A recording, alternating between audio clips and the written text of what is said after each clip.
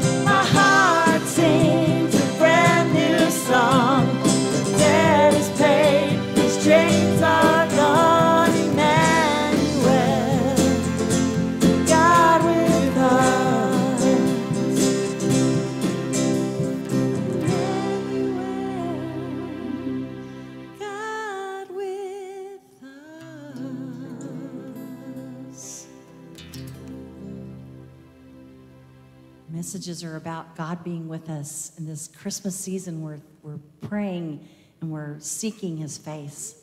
We know that he is with us. We want to be with him.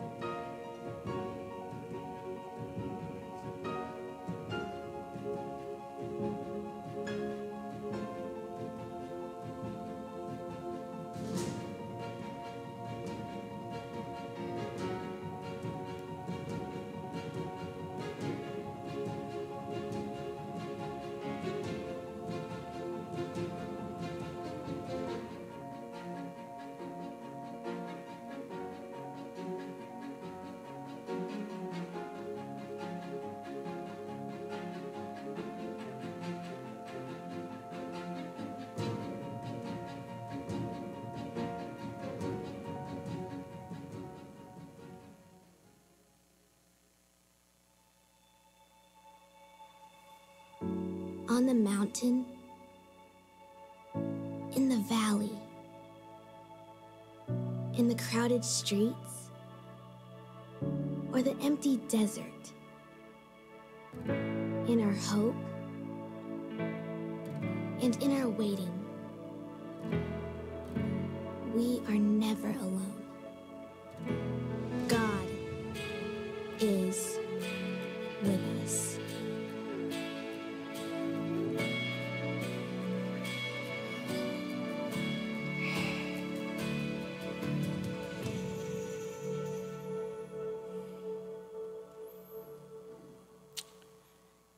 God is with us. Say that out loud, would you?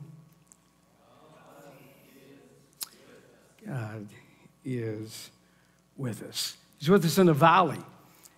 And that's where we're going to go for the next several weeks as we lead up to Christmas is we're going to be talking about God with us. It's going to be a it's going to be a blast. And every week we're going to read Matthew chapter 1 verse 23, kind of a theme verse. Uh, to take us through that. Let's just go ahead and read it as we begin. The virgin will conceive and give birth to a son, and they will call him Emmanuel, which means, say this out loud, God with us. So you'll notice in your copy of scripture that's in caps, or, or at least it's in quote, quotations. Why is that? Here's, what it, here's what that means it means it's a quote from the Old Testament, a book of Isaiah, chapter 7, verse 14, where God had promised Isaiah there that there was going to come a child who would be God with us. And he tells us here that Jesus is the ultimate fulfillment of that prophecy. God is with us. God with us. And again, that's the title of the series. And, and if you're a follower of Jesus, if you've come to know him as your Lord and as your Savior, then you understand that God is with you when times are good, right? I mean, most of us get that pretty easily when you're on the mountaintop or when you get good news in your life, you get a raise. God's with us. The baby sleeps all night for the first time. You, you pull into the mall and you get the best parking spot, like God just kind of parted the Red Sea for you. It's easy to sense the presence of God, isn't it? When things are going good. But what happens when things are tough? Let's, let's, ask that question. It's sometimes difficult, isn't it, to, to experience or sense the presence of God when you're in a valley when things aren't going your way, when you get some bad news, when, when you're hurting, when you're lonely and you're afraid and, and you're worried. How many of you know what it is to walk through the valley of the shadow of death? Some of you do. And, and you know the difference between the mountaintop and the valley. You, you know, we all have those seasons, those pockets of, of life that, that are really, really good. Your marriage is blessed. But then maybe you have a kid who's making crazy, stupid decisions and, and it's just dragging you down into the valley. Or you're really, really close to God and, and you sense His presence, but, but at the very same time, you're, you're afraid you're going to lose your job. Maybe your family is, is gathering for the holidays and you're super excited. I mean, getting together with family, but then you get some bad medical news about you or someone else. Those mountaintops are great, but, but then there's the valleys. And in Scripture, valleys are interesting. When you study the Word of God, they represent a lot of different things. Bat- battles take place in valleys. Some of you may understand that one quite well, right? Some battles that you're fighting. Maybe even right now, you're fighting some battles. Wow. You know what that is to, to fight those battles when you're in those valleys and, and you can't see and, and you don't understand and, and things look bad. It's, it's those valleys or seasons of time. Sometimes it's those valleys in the scripture that represent desperation. Valleys in the scripture you see are sometimes seasons of loneliness. And some of you might be experiencing that even now. But it's interesting to me when you study these valleys in the Word of God, it's also true that valleys are places of growth. Imagine that. And so, with that in mind, I want you to write this one down. We may enjoy God on the mountaintops, but we get to know Him intimately in the valleys. Now, now don't, don't just gloss over that. We may enjoy God on the mountaintops. Somebody say, Yeah, that's right. But, but we get to know him. We get to know the character and the personality of God when we're walking through some difficult moments in life. We get to know him intimately. We get to know him differently in those valleys. That's, that's where we start this journey to Christmas today, talking about God in the valleys. So turn in or turn on, if you would, to Psalm 84. Turn in your Bible to Psalm 84. And chances are you've probably read Psalm 84. If you have, you might have run right past these verses. Maybe you haven't. Maybe you've studied these extensively, but I want us to look at them today and begin with verse 5. If you're there, say, I'm ready. Some of you aren't ready. If you're there, say, Amen. All right, so we speak that language. Verse 5, read it with me. Blessed are those whose strength is in you, whose hearts are set on pilgrimage. Verse 6, and as they pass through the valley of Baca, they make it a place of springs. The autumn rains also cover it with pools. And, and write out in your notes, blessings. Uh, that's another word there. Verse 7 and they go from strength to strength. Underline that. From strength to strength till, till each appears before God in Zion. Now, the Valley of Baca, we need to do a little bit with that, right? The Valley of Baca was most likely related to a tree. Uh, this tree would ooze sap. And when you walked by it, you would be able to visibly see this, this oozing of this sap coming out of this tree. It was sometimes called a weeper. It looked like the tree was crying. You get the picture. That's why the Valley of Baca is translated in different ways in Scripture. It's called the Valley of Tears. It's called the Valley of Weeping. It's called the Valley of Loss. It was a dangerous place, this valley. Thorns and wild animals, people waiting to jump you. It was a tough place to be. It was a tough valley to get through. And typically, something bad is going to happen as you go through this valley. Kind of like driving down Glenstone at five o'clock in the evening, right? So something bad is probably going to happen. So, so that's why verse five is so important. Blessed are those whose strength is in you, the Lord. And by the way, if you're not a follower of Jesus today, and maybe you're here in this building, or maybe you're with us online, and you've never trusted Christ as your Lord and as your Savior, and, and so you find yourself in a valley and you become overwhelmed. You say, Yeah, I get the valley thing. I'm with you on that metaphor. I understand clearly, but when I'm in this valley, I'm overwhelmed. I'm exhausted. And then you say things like this I've had enough. I can't do this anymore because what you have is all you have. Now, listen to me. If you're not a follower of Christ, what you have is all you have. When the book of Proverbs says to lean not on your own understanding, but lean on the power and understanding and the admonitions of God, you don't have those to lean on because you don't know Him. And so you find yourself in the valley and you're exhausted. I mean, listen, you are totally overwhelmed. You don't know where to turn, you don't know where to reach out to. The valley is a spooky place for all of us. But for those without Christ, it's a place where you have all you have. But now listen, if you're a follower of Jesus, if you know him, you have a strength that goes beyond what you have. And then when you get to the end of your own strength, there's a heavenly strength, a divine strength, a strength that comes from God that's available to those who know him. Let me show you an example of that. Are, you ready to see an example of what that looks like? Watch this. Hello, everyone want to give, give you guys an update on my mother, Judy Mills. Here you go. Hi, everybody. Thanks for all the prayers. To God be the glory. You see that? now, that would be what you would call an example of strength that's beyond your own strength. There's strength available to those who know God. Somebody say, Amen. You know about it. There's a bigger power. There's, there, there's a strength that is bigger than COVID 19. There's a power that's bigger than our own strength. And when you hit the end of your own strength, His strength is made perfect in your weakness.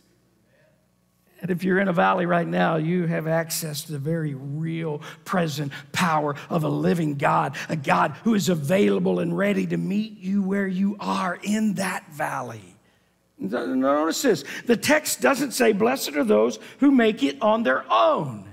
It doesn't say, blessed are those who pull themselves up by their own bootstraps. It doesn't say, blessed are those who are really determined. Blessed are those overachievers. Blessed are those who are able to do it on their own. See, one of the big problems we have in our world today is that we almost idolize independence.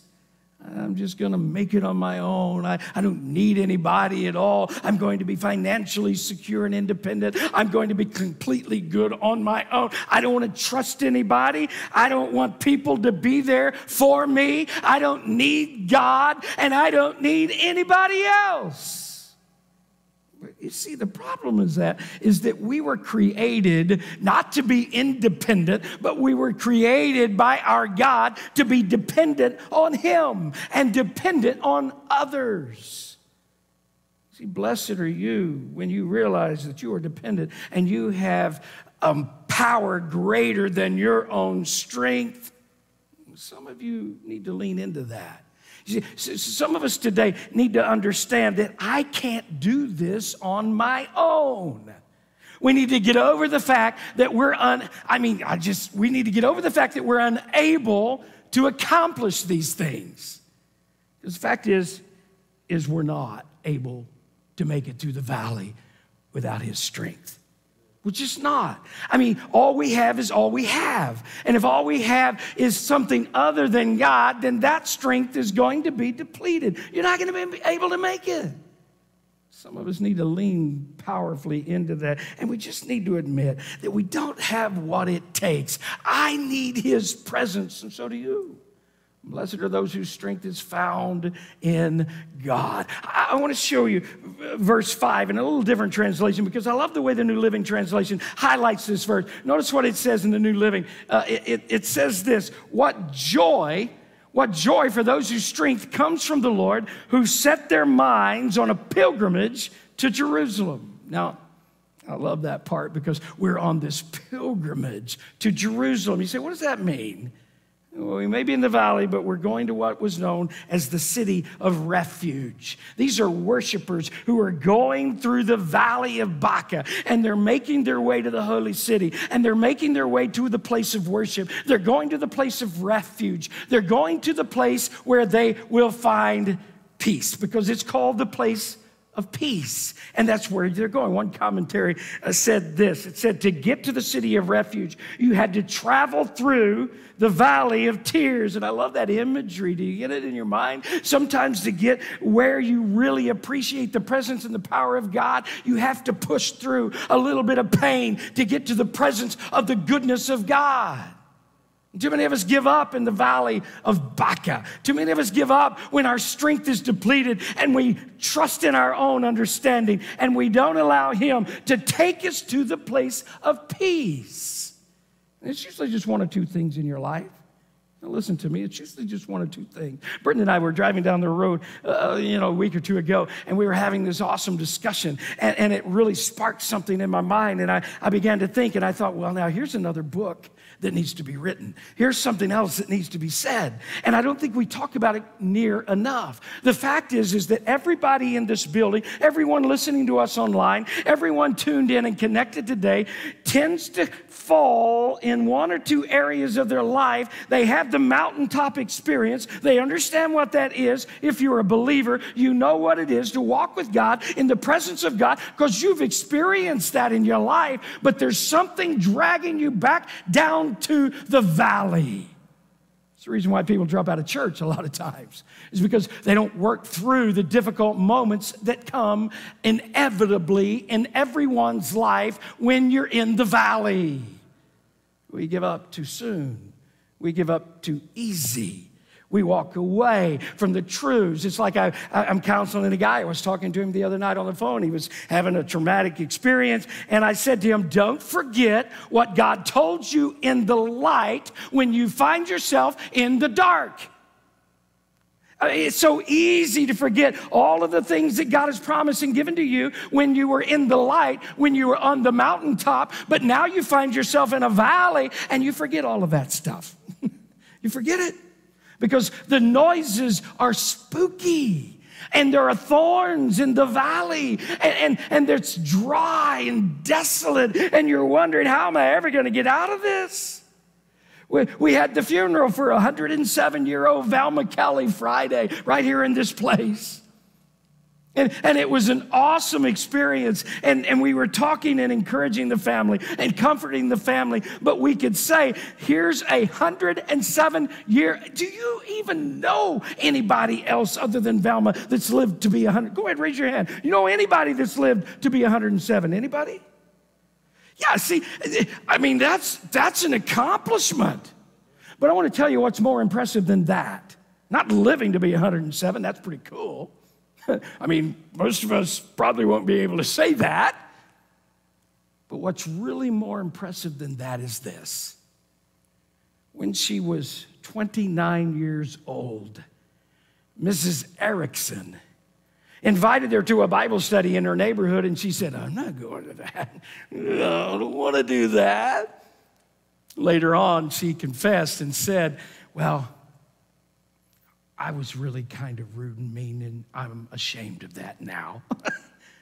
Ultimately, she went to Mrs. Erickson's Bible study class. She got on her knees. She received Christ as her Lord and as her Savior. And for 81 years, she served the Lord Jesus Christ. That's what's more impressive to me than the longevity of years, is the fact that she served Him with everything she had. Yeah, we celebrate that. Because most of us have difficulty when we get in the valley. It's what we hear. And Brent and I were having this discussion, and we were talking about this as we were driving down a road, and, and people were coming to our mind. And, and I was thinking, you know, you know, I've seen this my entire ministry. I've seen people who would be on the mountaintop with God, be on the mountaintop, so gifted, so talented. I mean, God has given to them such grace and mercy. And yet today, because of one or two things in their life, they've dropped out uh, completely out of the service of God. I said, that just blows me away. Now, I get it. There have been times in my life in some of those valleys where I have questioned a lot of things. So I understand. But isn't it tragic when we don't go from our strength to his? It's joy you get joy. This is what it says. For those whose strength comes from the Lord. You set your mind on a pilgrimage. Know, now, this is, this is why the psalmist said it. Let me show you the first part. He said this What joy, what joy for the strength that comes from the Lord. Do you want some joy in your life? And, don't miss this part. They not only had joy, but they received that joy because they set their minds on a pilgrimage. They decided, I'm going, I'm going. Now, now, everybody say something with me out loud, will you? My mind is set. Say it. My mind is set. Blessed are those who have their mind set toward God because what you think about matters. It matters a lot. What you think about matters. Paul talked about that in the New Testament to those Colossian believers. You may remember he said, Set your mind on things above, not on things below. Paul even told those in uh, those Philippian believers, he said, if anything is excellent or praiseworthy or admirable or lovely, think about those things. Because here's why. Because where you are, where you are is one thing, but what you think, something else completely. That's in your notes. Write that one down. Because what you think about matters. You guys remember there used to be a show on TV called what were you thinking? I don't know if it's still running at all, but they would have crazy uh, people on there with snakes and holding them and jumping off of roofs with cardboard wings and that type of, uh, doing all kinds of crazy, stupid things. And then they would ask the question, What were you thinking? Well, I remember that question quite a bit as a child growing up. I was a little ornery. You might not be believing that. I get it. You, are saying, No way, preacher, you would never be an ornery. Yeah, I was pretty ornery. And my mom would say things like this to me What were you thinking? And I would answer her, as you well know, the same answer that you provided. I don't know. What were you thinking? What were you thinking? The same question that was asked that I asked myself when I jumped out of that perfectly good airplane and skydived. I thought, what am I thinking? I was awesome, by the way. What was I thinking? Brenda asked that question too, but she jumped as well. What, what you think about matters. What are you thinking? What do you think about? What you think about really matters. Now, listen, I think somebody needs to hear this. Maybe somebody in this room or, or somebody with us today. You, you, what do you think about in the valley? See, you can be in a certain place and be thinking about something completely different. Just ask the guys who work for me. They're thinking about something completely different when they should be thinking about where they are. And yet, listen, sometimes you can be in places and you, your mind can be thinking about other things, and there are times when that is absolutely necessary. Somebody today, right now, your current situation, you're in a valley but your mind can still be set upon God. Your heart is now racing, but your mind can be set on God. I mean, listen, your soul is aching, but your mind can be set on God. The fact is, is when you set your mind on God and toward God, blessed are those. That's when you find joy. I mean, for some of you, there's some pressure right now, and you're beginning to feel it. It's December the 5th, and the ball is rolling. Listen, it's getting close. The big fat guy in the red suit's coming around the corner. It's happening whether you want it to or not. I don't ask you the question, are you ready for Christmas? Because I, that means something to every, something different to everyone. The fact is, the best way to be ready for Christmas is to get your mind on the things of God. Because here's why because you're thinking about all that other stuff. I mean, listen, we gotta we, we, gotta hang that tinsel stuff and and we've got to put things outside, you know, and and we've got to get the tree out, and oh my goodness, we got to get all those things. We got to cook, and we got to stuff the turkey. We got all of these things. The presents. What are we gonna do? And your mind might be racing even today. Christmas for you might be how in the world am I going to get along with that relative who I know is coming?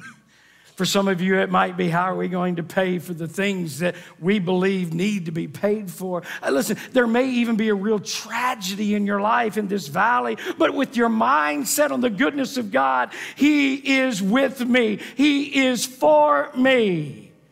greater is He that is in me than he that is in the world. My God is going before me to prepare a way for me. The Spirit gives me strength when I am weak. Do you understand? I need him every moment of every day because his words are a lamp unto my feet and a light unto my path, and I cannot make it any other way. His power is very, very real. And I may be in the valley, you may be in the valley, but my mind is set on the kingdom of God because why? I'm on a pilgrimage to this place of peace. And you may be in a valley, but your mind can be fixed on God. Did you get that?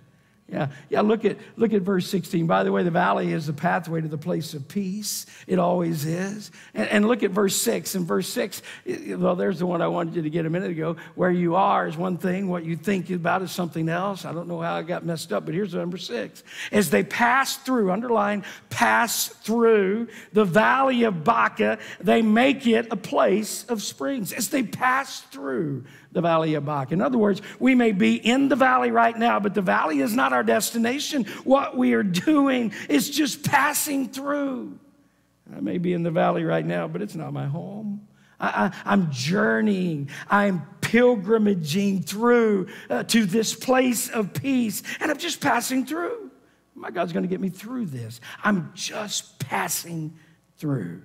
You remember David said something like that in Psalm chapter 23. He said this He said, Even though I walk, well, let me just have you help me. Are you ready? Come awake and, help me with this. Even though, what does it say? Even though I walk through the valley of the shadow of death. And by the way, if you haven't ever done a, a study on this, I'm sorry, I messed you up. If you haven't ever done do this Underline that word shadow and, and, and begin to think about what that really means. I'm walking through the valley of the shadow of death. It's fearful. I'm scared. I don't like it. There are some scary things going on around me, but, but it's just a shadow because I am walking in the power of the Almighty God. His strength is enabling me to walk through this difficult moment in my life. So it's a shadow of death. I will fear no evil evil, for thou art with me. Say that again. For what?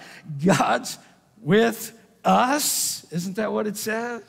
So I may be in the valley, but notice I'm just passing through. Yeah, it's a difficult time in my life, but God's going to get me through. I may be hurting, but I'm going to be, I'm not going to be hurting forever because my God is going to pull me through. Every dark place in the valley, He's going to pull me through.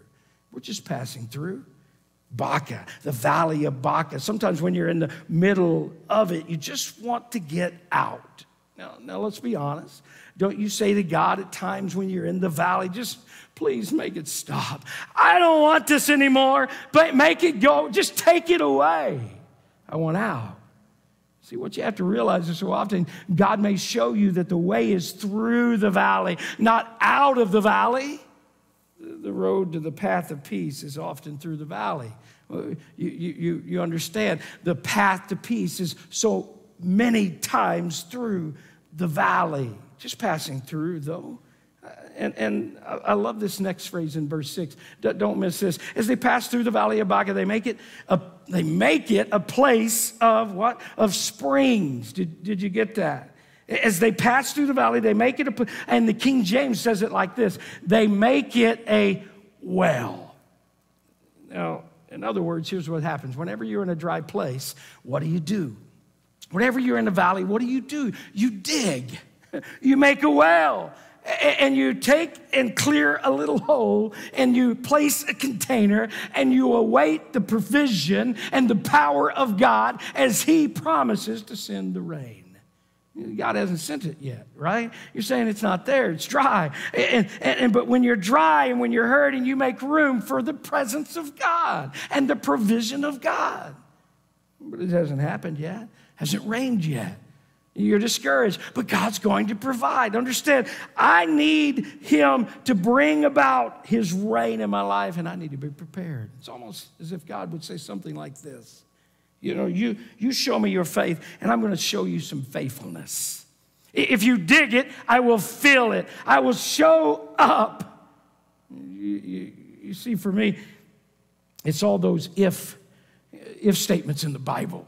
You, you, guys know what I'm talking about? When God says, If my people who are called by my name will humble themselves and pray and seek my face and turn from their wicked ways, then I will hear from heaven and then I will heal their land if you keep my commandments, if you abide by my commandments. You see, in the New Testament, uh, you, you remember Jesus had this same idea. There, there's a guy in the New Testament who had a withered hand. You, you may remember. And instead of Jesus just coming along and saying, hey, just be healed, go, go on.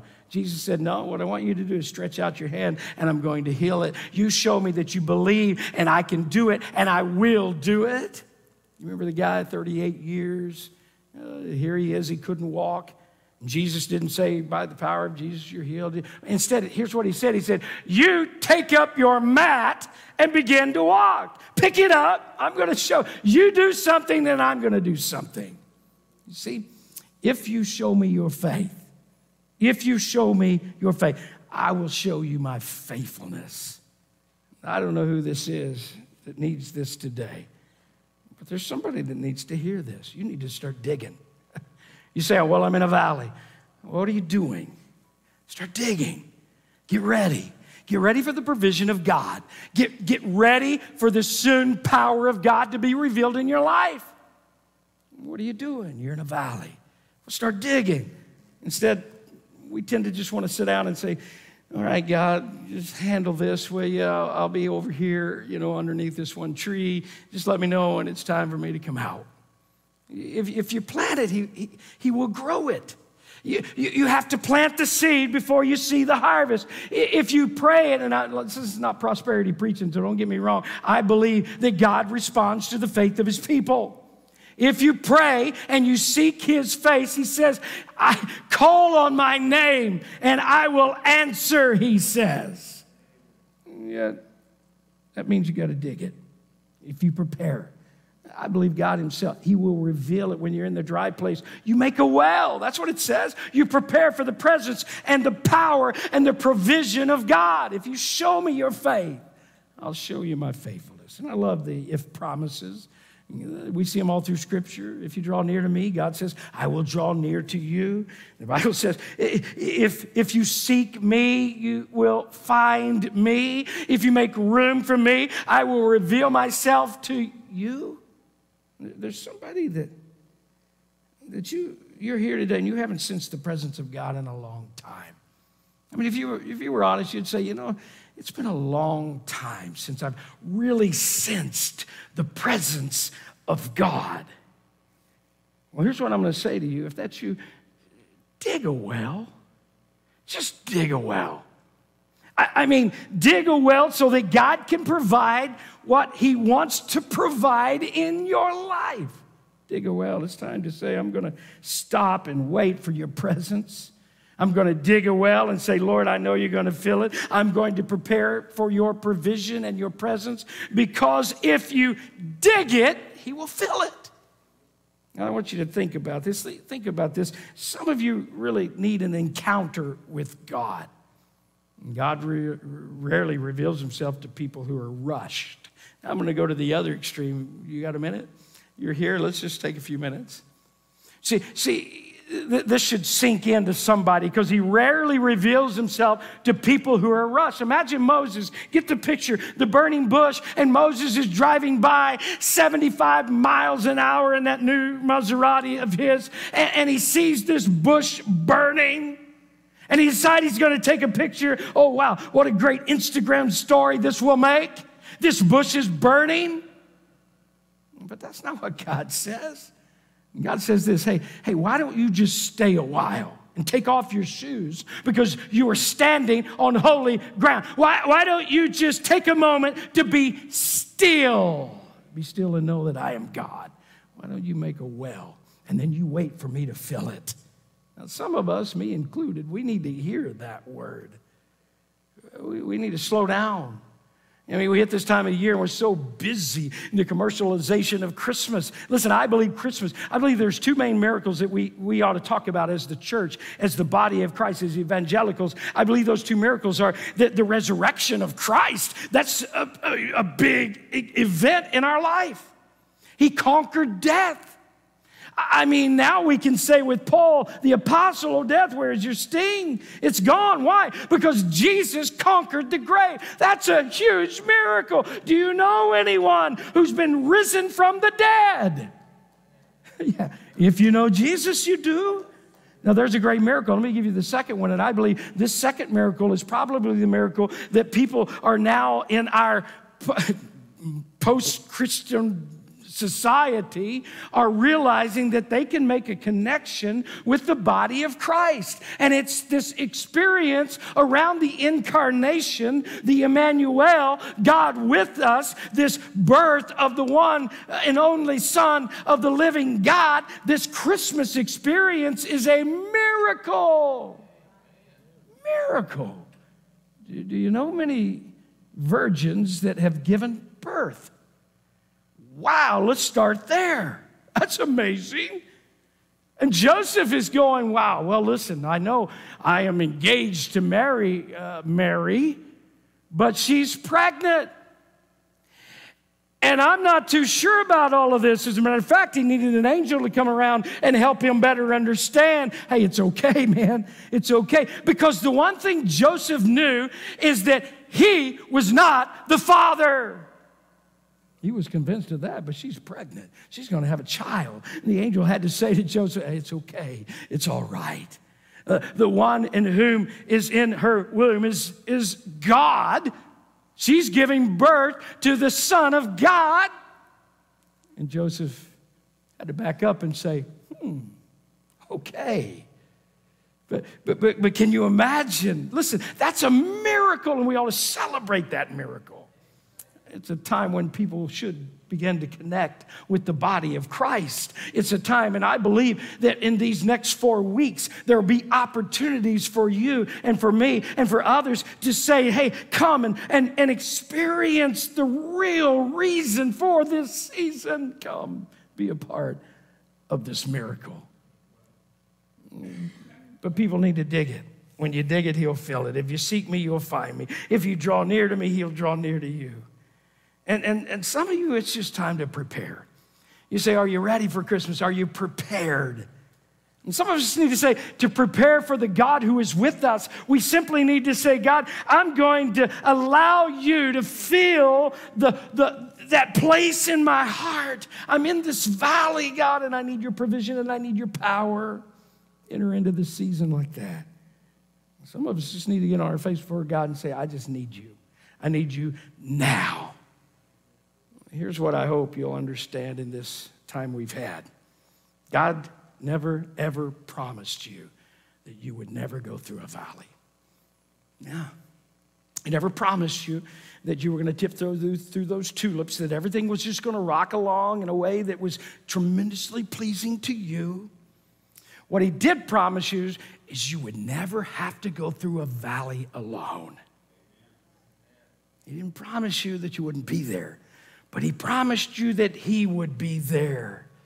God with us, and the virgin will be with child, and his name will be called Emmanuel, which means God with us. And I love the way the psalmist phrases this portion of scripture. He says, As we journey through the valley of Baca, we're going to the place of peace. And then he says, They go from strength to strength. And I love this phrase they go from strength to strength. Get that? Because here's what we get confused. Sometimes we think as believers that discipleship is an instantaneous experience, and it's not. You, see, it's going from strength to strength. It's a step by step experience. That's why I challenge people to find their spiritual gifts and to do three things connect, grow, and serve, and keep taking the steps. Keep taking the steps. Even when you get in the valley, keep doing these things because as you do those things, you go from strength to strength to strength to strength. You become stronger the more you connect, grow, and serve. You do.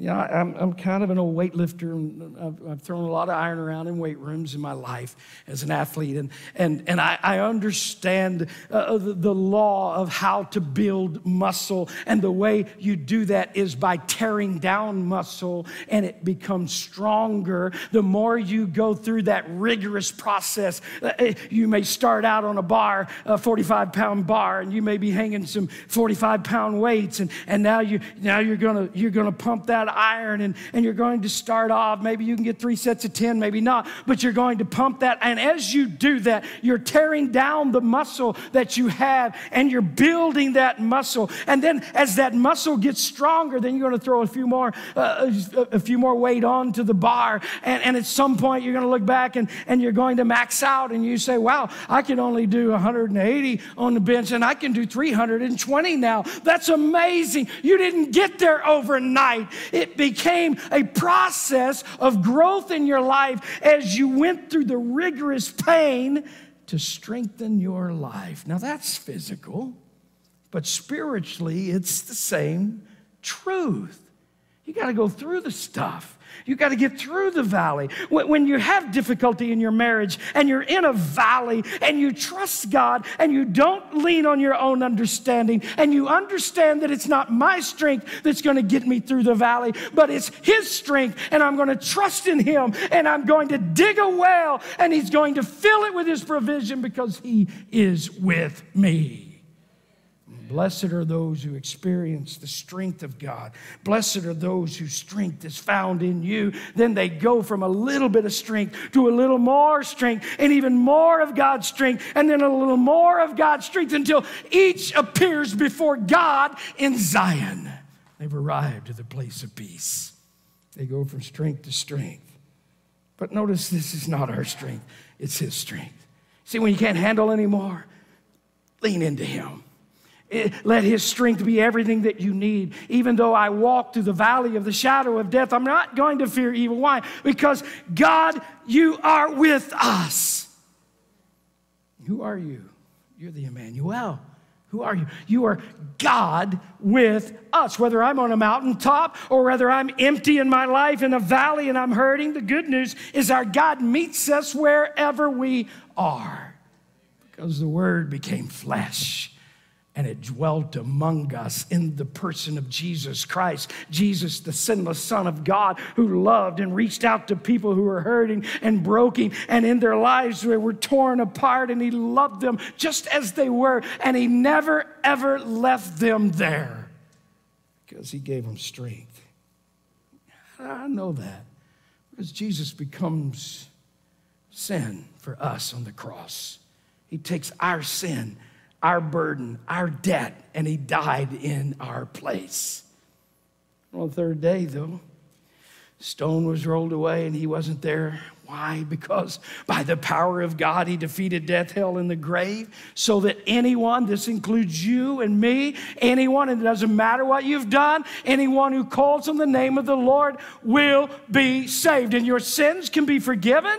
You would be made completely new. You're if you're at the top of the mountain or you're in the deep darkness of the valley. The only thing separating you from him is your sin. The only thing separating you and I from a holy God is our sin. What we need is forgiveness of our sin. What we need is life that only He can bring, abundant, eternal life. Maybe that's why you're here today. Maybe that's the reason you showed up. It's so that you could hear about the mercy of God. You could hear about the love of God. And so today, let me challenge you to do something. Say to the Lord, I turn from my sin. I turn toward Jesus and I call on the name of Jesus. And I'm going to dig a well. I want to meet him there. I know that God is with you. Do you know God is with you? That's the greatest blessing there is. That, that's, that's the blessing we celebrate at Christmas. God with us, the Son of God coming to earth to be with us. God with us. God with us. It's a wild idea, really. Because can anybody truly be with God? I mean, in His holiness, in His glory, in His splendor, who could be with God? What if, what if God chose to be with us? What if the creator of time and space himself stepped from eternity into mortality and wrapped himself in skin and looked humanity in the face and said, I'm with you? What if he chose to meet us in the silence and say, I'm with you? Eh, What if he chose to stare into your doubt and hold your confusion in his hands and walk beside you every step of the journey and say, I am with you? It's a wild idea, I know. But what if God with us?